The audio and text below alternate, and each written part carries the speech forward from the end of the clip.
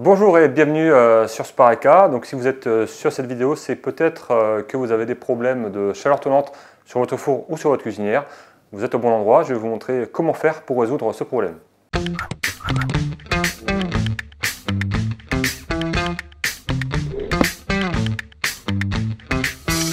Alors ce mode de cuisson permet principalement de cuire donc tout ce qui est rôtisserie, poulet, rôti, etc. Mais permet aussi de cuire sur plusieurs niveaux puisque le chauffage va être euh, ventilé. Alors la chaleur tournante, euh, comme, euh, comme je vous l'expliquais auparavant, c'est un ventilateur qu'on peut apercevoir au fond du four qui est ici. Dès que vous enclenchez ce mode de cuisson, il va se mettre à tourner. Et autour, donc là on ne le voit pas encore parce qu'il y, a une plaque qu'on va démonter juste après, vous allez avoir une résistance circulaire. Alors la combinaison des deux, donc ventilateur et résistance, va faire une chaleur pulsée, une chaleur ventilée qui va permettre euh, donc une cuisson homogène.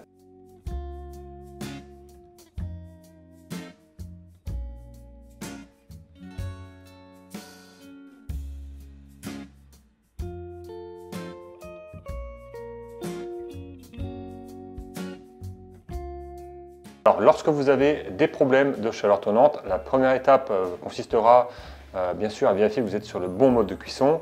Après, il faudra contrôler que le ventilateur tourne correctement. Vous pouvez le voir dès que vous enclenchez donc, le mode avec la porte fermée, le ventilateur va se mettre à tourner. Si ce n'est pas le cas, il faudra euh, démonter la plaque de fond pour aller vérifier son état. Donc là, pour avoir plus de place euh, pour travailler, on va retirer tout ce qui est plat, donc les grilles et les gradins. Donc sur ce modèle-là, il suffit juste de les déboîter.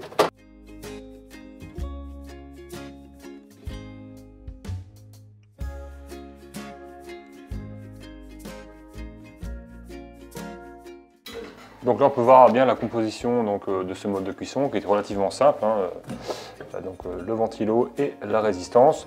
donc déjà, il faudra contrôler ici que le, ventilateur est bien fixé. Parce que ça peut arriver en fait, que l'écrou se dévisse et après donc, la ventilation va mal se faire. Ça peut éventuellement faire du bruit. Vous pouvez donc éventuellement remplacer cette pièce-là si elle est endommagée.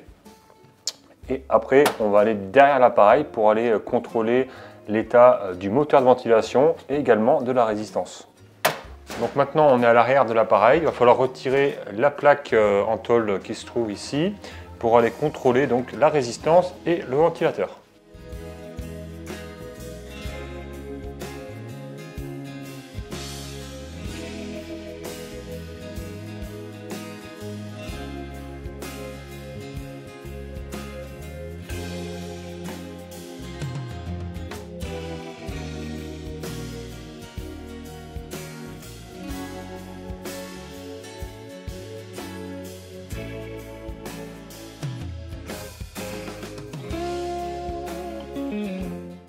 Comme vous pouvez le voir, vous avez donc un moteur de ventilation qui est ici, qu'on va tester, la résistance euh, de chauffage et également une sécurité euh, thermique euh, qui va se déclencher en cas de surchauffe.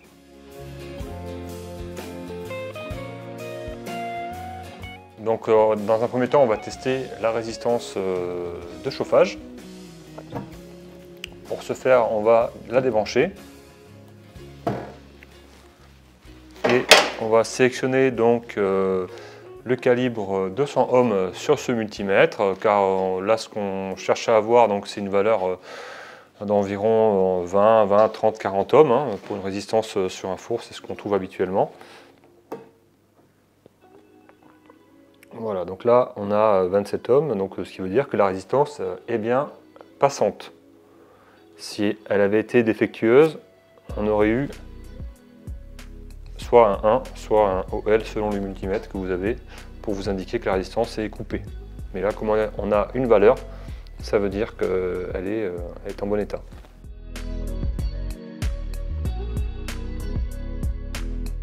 Donc maintenant, on va mesurer le ventilateur. Donc cette étape est à réaliser si vous constatez euh, que le ventilateur euh, ne tourne pas et qu'il n'est pas bloqué mécaniquement. Il se peut qu'il soit coupé omiquement et dans ce cas, il ne tournera pas.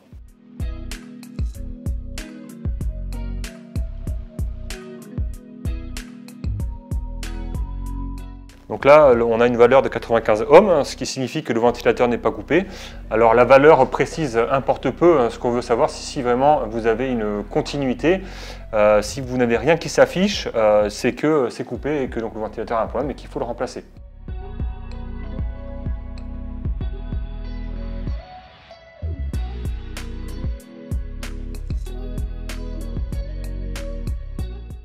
Alors, tant qu'on y est, on va mesurer également euh, la sécurité thermique euh, qui se trouve ici. Euh, donc, le rôle de cette pièce est simplement donc, de couper le chauffage lorsqu'il y a une surchauffe.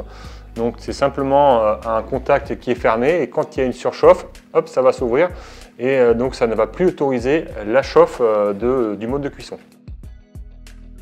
Donc là, comme c'est une sécurité thermique, c'est uniquement un contact qui s'ouvre ou qui se ferme. Il n'y a pas de valeur ohmique à avoir. Donc vous allez vous mettre sur le calibre le plus bas ou sur la fonction euh, continuité de votre, euh, votre appareil de mesure. Euh, quand vous avez le, bip sonore par exemple, c'est parfait pour mesurer un thermique. Donc là, dans ce cas-là, il doit être donc fermé pour indiquer qu'il ne s'est pas déclenché.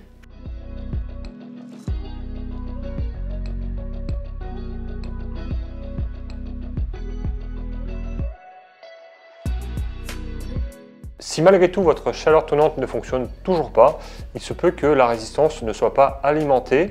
En tension.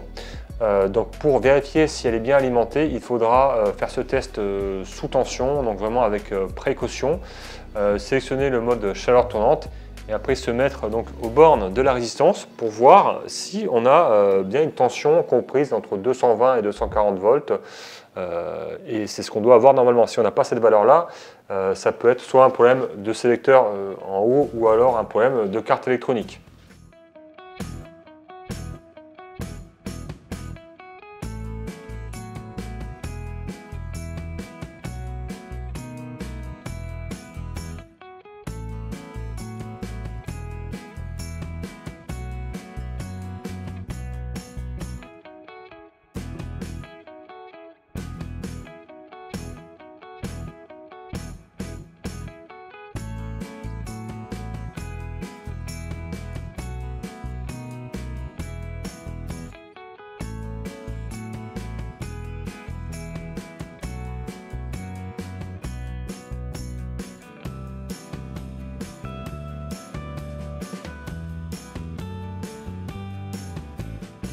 Voilà, donc cette vidéo euh, sur la cuisinière euh, se termine. J'espère qu'elle vous aura aidé et qu'elle vous aura plu. Si c'est le cas, n'hésitez pas à mettre un petit pouce bleu, ça fait toujours plaisir. Euh, si vous avez toujours des difficultés pour trouver l'origine de votre panne, nous proposons un service de visio qui est une aide à la réparation avec l'aide d'un technicien donc en visio.